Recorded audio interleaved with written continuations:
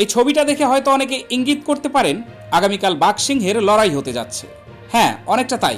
Kolkata night রাইডার্সের সাথে মুস্তাফিজের দিল্লির লড়াই। আজ মুস্তাফিজরা হোটেল সুইমিং পুলে সবাই একসাথে গোসলের সাথে ফটো সেশনে যোগ দেন। এক পরিবর্তন নিয়ে কলকাতার মুখোমুখি হচ্ছে মুস্তাফিজের দিল্লি। দিনের প্রথম ম্যাচে বিকেল চারটায় মুখোমুখি হবে দুই দল। দিল্লি ক্যাপিটালসের কাছে এই ম্যাচটি অনেক গুরুত্বপূর্ণ। ইতিমধ্যে টুর্নামেন্টের তিন ম্যাচের মধ্যে মাত্র একটি ম্যাচে জয়লাভ করেছে মুস্তাফিজুর রহমানের দল। অন্যদিকে চার ম্যাচের মধ্যে তিন ম্যাচে জয়লাভ করে এখন পর্যন্ত পয়েন্ট টেবিলের শীর্ষে রয়েছে কলকাতা নাইট রাইডার্স।